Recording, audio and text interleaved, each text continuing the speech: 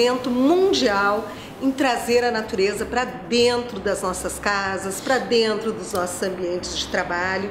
As pessoas querem ficar cada vez mais próximas da natureza. Eu acho que isso é quase que um resgate, não é, Giovanni? É, eu acho que em plena era da tecnologia, todo mundo em busca da informação, da velocidade, então o que, que a gente acaba até vendo ambientes mais frios, minimalistas, nada contra, em absoluto, Claro né? não. Mas acho que tem um resgate muito bacana que a gente chama a era da espiritualidade também, né, Karen? Que é marcado por a gente estar mais próximo da natureza, por elementos mais ligados a, realmente à terra, elementos que possam, possam nos trazer uma energia É uma bacana. maneira de fazer um contraponto, não é? Com toda essa tecnologia, Sim. com toda essa modernidade, não é? Não é à toa que quando a gente quer descansar, por exemplo, a gente gosta de ir num parque verde, É a gente gosta de subir a serra, ou a gente vai por- ah, para o mar, mas tudo é ligado a questões da natureza, né? Eis que, adivino, Eu tô quase pendurando uma rede aqui. Então, olha só, Karen, nós recebemos essas árvores, são lindas. que eu, eu acho elas espetaculares, o tronco dela é natural. Natural, né? tá? Não, e ela tem um aspecto muito natural, não Sim. é? Apesar de ser permanente. É, e as folhinhas, então, que são ah, permanentes.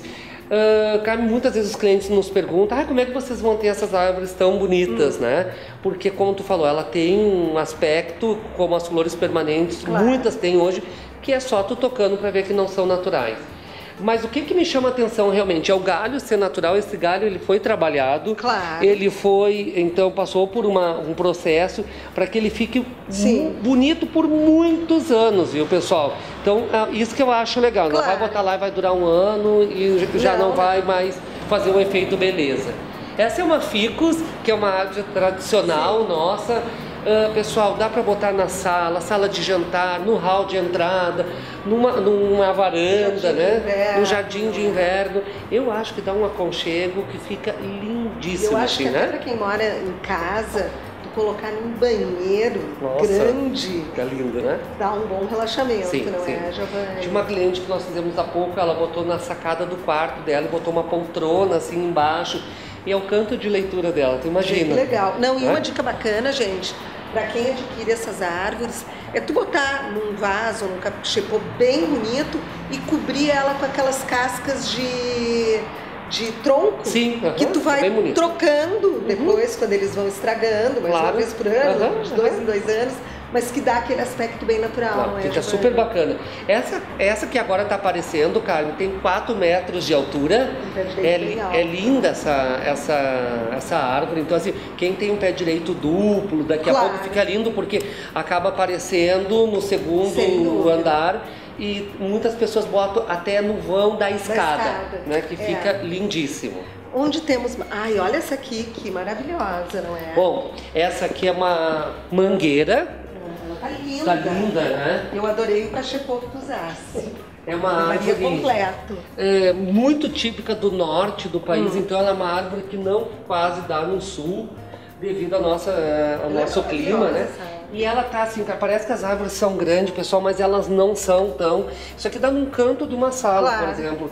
E agora, da vida, não é, Giovanni? Sim, cara, tem uma, uma outra cliente nossa que botou micro lâmpadas de LED. Então quando ela recebe visita, Hum. Ela liga a árvore dela. Aquela chama- coisa meio americana que Exatamente, jardins, é, não que é a árvore iluminada, né? Então acho que Lindo. fica muito legal.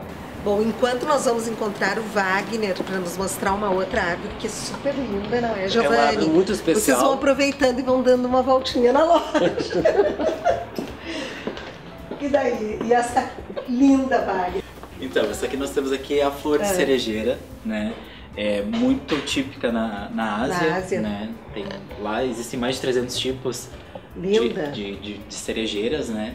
É, ela simboliza a beleza feminina e também a renovação Não, também. bárbaro, essa aqui a gente dedica para ti, Pedro Toigo, que a coleção do Pedro foi toda inspirada na flor de cerejeira Ah, esse é ano. verdade. E, elas, É. e é lindo, né, a flor de É lindo. cerejeira, porque elas florescem num período muito marcante e, e as pessoas. Super eh, delicado. é, e as pessoas ficam andando de barco, assim, em volta das flores de cerejeira, que marca a renovação. Então, quando eu digo que essa loja aqui tudo tem um porquê, nada é por acaso, né? Vamos mostrar uma agora que fala um pouquinho de fortuna, Vamos. de prosperidade. Vamos Vamos, lá. lá? Bom, Wagner, a gente já passou pelo norte do Brasil, já fomos até a Ásia. e agora nada mais justo do que mostrar uma característica nossa daqui, não é? Que é o IP amarelo. Gente, olhem como ele é maravilhoso. E daí, Giovanni? Então, eu sou apaixonado por essa árvore e acho que ela é uma árvore que marca o amarelo. O amarelo é ouro, o amarelo é prosperidade, é fortuna, né? E além de tudo, eu acho que o amarelo dá uma vibração Com tão certeza. boa no ambiente, né? Então eu acho que essa árvore ela fala por si, esses, os galhos dela, eles tiveram um cuidado muito grande para realmente conseguir galhos que marcassem os troncos do. IP. E assim, pessoal, como a Carmen falou, ela vem num cachepô super simples para que a gente possa personalizar Com com, a nossa decoração. Eu acho que nada melhor que encerrar com o IP É. amarelo e desejando muita fortuna, Ó, ele prosperidade. garantindo que quem compra esse IP amarelo Gente, depois ó, pode cobrar de ti, né, É isso boas atrações, boas energias para dentro de casa. Acho que é isso que a gente precisa, é fazer o nosso lar, a nosso, o nosso canto sagrado, É isso né? aí, venha buscar aqui na Divino Design essas peças tão especiais que deixam a casa com tanto significado. A Divino Design fica aqui na Dom Pedro, hoje nós estamos na Dom Pedro, em frente ao Pastor Domes, com estacionamento, mas também tem outra Divino na Anitta Garibaldi, número 699.